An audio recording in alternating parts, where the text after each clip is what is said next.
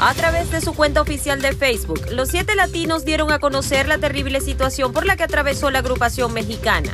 El día de ayer, mientras nos encontrábamos alistando para salir a cumplir con nuestro público de Celaya, municipio de Medellín, Veracruz, se suscitaba una riña muy cerca del autobús, contó,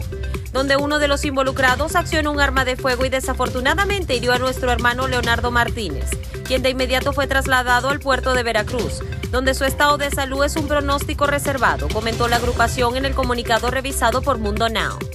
El grupo mexicano solicitó el apoyo y solidaridad de sus fans para obtener ayuda económica para solventar los gastos económicos de la atención de Leonardo Martínez.